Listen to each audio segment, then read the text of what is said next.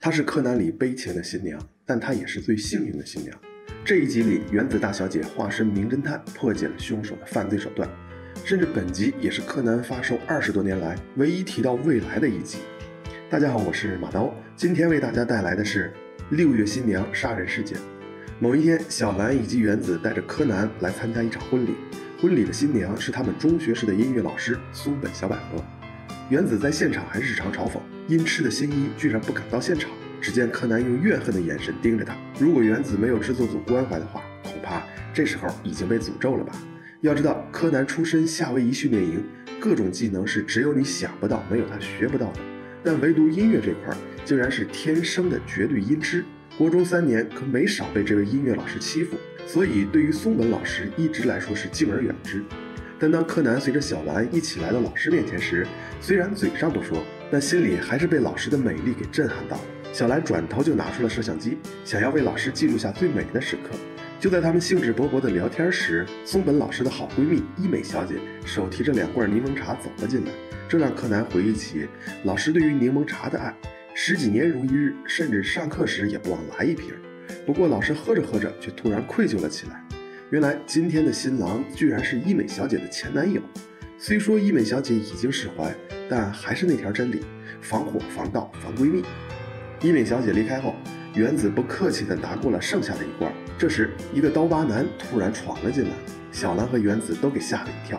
原子甚至更叫嚣着让小兰将这个大猩猩甩出去，哪知道木木警官从刀疤男身后冒了出来。原来这人是木木的上司，警视厅的厅长，同时也是松本老师的父亲松本清长。警长前来再次询问老师，丈夫的人选要不要重新考虑一下？毕竟警视厅里年轻的小伙还很多嘛。随后，这位老父亲就被女儿狠狠地训斥了一番，好像看到了毛利家的翻版呢。委屈巴巴的老父亲只能吐槽。都这么大了，还在喝甜甜的柠檬茶，赞美了几句女儿后，便离开了房间。然后又来了一个自恋狂，也是老师的学生梅宫。他送给了老师一束鲜花之后，又极其风骚的在老师的柠檬茶吸管上打了一个蝴蝶结，向老师表达了自己对他的爱慕。只不过啊，这个爱慕有点油腻，让人无法消化。随后他离开了房间。这时小兰突然发现摄像机的电量不足。而自己还没有带备用电池，将摄像机放在椅子上之后，和原子急匆匆地跑出去买电池。柯南就这样被留了下来。看房间里只剩下柯南，闲着没事的老师就调戏了起来。因为松本老师觉得他长得非常像小时候的新一，之后还告诉他，之前之所以喜欢欺负新一，是因为对方长得很像自己的初恋。原来松本老师小时候，自家附近开面包店的小男孩。经常在松本老师被欺负时帮忙出头，还经常拿柠檬茶给松本老师喝。但因为当时年龄太小，直到对方搬走，连他的名字都不知道。因为忘不了他，所以自己也将喝柠檬茶的习惯保留了下来。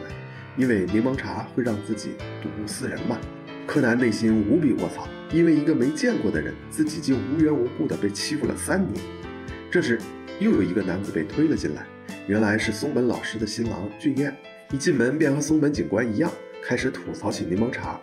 恰好买电池的小兰原子归来，原子很惊讶，没想到高山集团的继承人竟然是松本老师的爱人，这家伙妥妥的富二代。原子还顺便向旁边的小兰吐槽，这个人优柔寡断，不怎么靠谱，甚至还有人说集团将会毁在他的手里。还没等原子说完，松本老师就向三人撒了个狗粮，然后便有人来通知典礼即将开始。松本老师让众人先行离开，自己随后就到。但众人刚刚离开，屋内传来了倒地的声音，众人急忙赶回，推开房门，却发现老师倒地不起，嘴角流出的鲜血染红了美丽的婚纱。迅速赶到的鉴证科表示，柠檬茶里混入了氢氧化钾，所以松本老师才会中毒。只能说柯南里都是非人类，氢氧化钾都能够轻松喝下。细心的柯南发现柠檬茶里有异物，仔细一看，竟是溶解了一半的胶囊。看来犯人将毒药装进胶囊后，再投放入柠檬茶，这样就能很好的模糊犯罪时间。木木警官瞬间智商上线，表示只要测试一下，就能够知道胶囊融化所需要的时间，并且对小兰众人表示：“你们都是嫌疑人，全部不准离开现场。”这下柯南可就不高兴了，指了指旁边的松本警官：“他算不算呢？”他也来过，并也接触过柠檬茶呀，将上司定为嫌疑人，这可把木木警官吓得瑟瑟发抖。好在松本警官很自觉，这让木木松了口气。小兰突然提议可以看一下摄像机呀。原来椅子上的摄像机一直都是开着的，请问说好的电量不足呢？虽然摄像机清楚地拍下了房间里发生的一切，但木木众人看了好几遍都没有找出问题所在，只知道在场的诸位嫌疑人都碰过柠檬茶。时间很快来到了傍晚，木木警官人都快钻进电视了，还没有发现任何线索。新郎却在编剧的强行加戏下，说出了自己小时候有个非常喜欢自己的小女孩，自己总是在对方被欺负时挺身而出，还经常偷家里的柠檬茶给她喝。可惜自己连她叫什么都不知道。一声长叹呐，本集不是推理剧，而是韩剧。这时，鉴证科带来了检验结果，胶囊融化的时间差不多是十五分钟左右。木木警官推算，这样的话，投毒时间应该在下午一点半左右。原子当即表示，就是松本警官进来之后，原子这是和木木有仇啊，铁了心把木木往火堆上推。好在鉴证科及时补充，他们发现柠檬茶的罐子上并没有松本警官的指纹，这就奇了怪了。松本警官还亲自打开录像带给鉴证科众人看，柯南也觉得好奇，于是便上前开始自己观察录像带，果然发现端倪。柯南发现伊美小姐买了两罐柠檬茶，原子跑出去的时候并没有带走自己的那罐。但录像带里却只发现了有一罐，柯南立刻跑去问鉴证科的大叔，罐子上是不是只少了松本警官的指纹呢？鉴证科表示，罐子上也没有这个人的指纹，只能说这位大叔这种说一半留一半的习惯没被辞退，真是万幸。这时又有了新的发现，一个警员在走廊里发现了一个玻璃瓶，瓶里还装着干燥剂，应该就是凶手用来装毒品的容器了。氢氧化钾只要放在空气中并吸收水分，就会变成液态的毒剧毒。再加上融化了一半的胶囊，柯南明白了一切。由于毛利大叔不在，本集的工具人只能是原子大小姐了。从始至终，大家都被误导，那就是认为犯人投毒的时间是老师毒发前的十五分钟。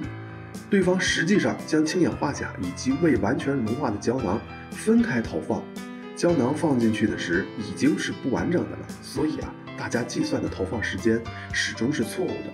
说完就直接上证据，还是刚刚的那段录像带。木木在被提醒的状态下仔细观看，原来屏幕上柠檬茶标签的方向是反的。原子出门时随手将自己柠檬茶放在了桌上。柯南介绍说，录像里我们只看见了一罐，那是因为两罐柠檬茶非常巧合地重叠在一起。松本老师之后再拿起来的其实是原子的那罐，而证据那就让鉴证科再查一下没下毒的那一罐是不是有现场所有人的指纹。也就是说，凶手是在松本老师拿错了柠檬茶之后才下的毒，那么下毒的就只有可能是这两个人了。但放置毒药的容器却在走廊的垃圾桶里被发现了，这就否定了老师自杀的可能。因为松本老师从始至终没有走出过这个房间，所以凶手只能是你了，新郎俊彦先生。松本警官立刻气势汹汹冲上去抓住新郎，大声质问。而新郎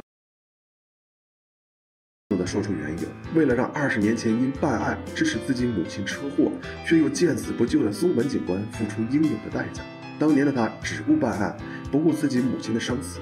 假如他当时愿意停一下，母亲根本就不会死。松本警官随即露出了惭愧的表情，表示自己当时确实没在意，事后也去寻找过俊彦一家，但已经搬走了。原来俊彦在母亲死后就被高山家收养，直到七年前才发现女友的闺蜜居然是仇人的女儿，心中复仇的火焰瞬间燃起，所以他丑化了这一切。他觉得松本老师也只是看上了高山家的财产而已。听到这儿，愤怒的伊美小姐冲了出来，给了他一巴掌。说出松本老师就是他挂念的那个柠檬茶女孩。其实松本老师什么都知道，包括当年的意外，这让俊彦连惊讶。这说明松本老师是心甘情愿喝下了被下毒的柠檬茶，这让他瞬间崩溃。好在最后又有一个警员冲出来报告，松本老师脱离了生命危险，而俊彦也在最后流下了忏悔的泪水。两个月后，松本老师成功出院。而君彦当时因为老师是自愿喝下的毒药，所以也减轻了罪行。老师依旧爱着那酸甜的柠檬茶，而让人想不到的是，老师在三年后居然还是和君彦结了婚。划重点，三年后啊。柯南居然知道三年后的发展，也就是说，起码在三年之内都没有办法变回新一了。但是俗话说啊，流水的柯见日新月异，铁打的半年永不过去。二十五年过去了，作者还嘴硬的说，柯南世界只过去了半年，想要完结，估计要等下辈子。好了，这一期的案件就说到这儿了。想要回顾更多柯南经典案件，还请点赞订阅我的频道。我是马涛，我们下期再见，拜拜。